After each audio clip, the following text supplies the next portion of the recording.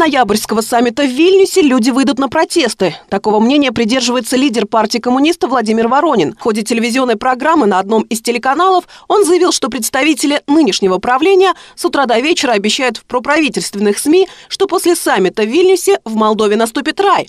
Но сразу после ноябрьского саммита Восточного партнерства, считает Воронин, общество переживет большое разочарование, и этот факт заставит людей выйти на протесты. Произойдет очень интересная вещь о которой никто из этих друзей, которые кроме как о Вильнюсе говорить в каждый день, ничего не умеют и не могут, и обещать нам этот Вильнюс, они, пользуясь медийными источниками, в том числе и вашими, и всеми их собственными, купленными, и арендованными и так далее, поднаемными, убеждают народ, что этот Вильнюс, после Вильнюса будет в Молдове рай – наступит. Всех убеждают в этом. Каждый день. А на самом деле, я спрашиваю очень серьезно теперь, а что произойдет после Вильнюса? До Вильнюса почти что понятно. Одни гнут в одну сторону, другие гнут в третью сторону. Мы не сдаемся ни туда, ни сюда, будем стоять на месте. Нам этот Вильнюс в белых тапочках снился. Скажите вы нам, что будет после Вильнюса? А после Вильнюса будет крах. И даже не надо будет нам бархатной революции. Сама страна, весь народ поднимется, потому что они сейчас ожидают, что после Вильнюса будет рай. А рая не наступит. Ни за что. Ни, ни после какого Вильнюса. Вильнюс – это самообман. Это дурь.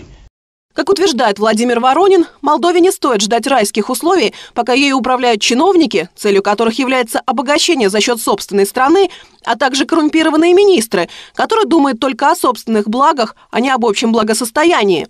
По словам лидера коммунистов, люди очень разочарованы нынешней правящей элитой и осуждают ее за высокий уровень коррупции – по мнению Владимира Воронина, государство должно обеспечить чиновникам такие условия работы, чтобы у них даже мысли не возникло о том, чтобы украсть или потребовать взятку.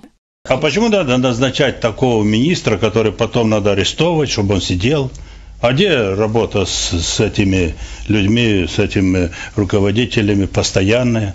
А где такие формы контроля, которые этот министр не смог бы даже при огромном желании стать коррумпированной личностью и так далее? Есть другие механизмы. Обязательно превратить всю Молдову в тюрьму. Нет, нет, нет. Я против этого стоял тогда, когда был при той должности, я стою и сегодня. У меня насчет этого То позиция есть при вас, когда вы были президентом, не было у власти тех личностей, которых можно было посадить за факты, посадить за факты коррупции. Вы ну, готовы это сейчас практи- Практически же не возникали такие скандалы в таких пропорциях и таких, как сейчас. Если там было замечено что-то, какие-то нарушения, то принимались меры. Это министры или кто они там были, освобождались от должностей, и потом принимались решения, что дальше. То есть большой коррупции не было? Да не что вы, как будто мы говорим о прошлом веке. Мы говорим о четырех годах тому назад, о пяти. Что, вы не помните, что такого безобразия, такого бардака вообще близко даже не было в помине?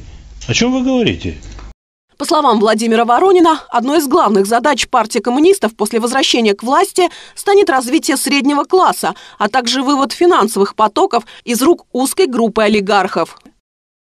Я буду бороться за то, чтобы значительно вырос уровень среднего класса в Молдове. Чтобы не 5-7% олигархов, как их называют сегодня у нас уже в обществе, держали в своих руках денежные потоки, все, меньше, меньше. и все эти, так сказать, средства и обогащались. А чтобы этот уровень среднего класса достиг хотя бы 70-75%. Напоминаем, что по данным социологических опросов, численность граждан, недовольных существующим уровнем жизни, превышает 70% населения. Одновременно увеличивается доля тех, кто живет в нищете.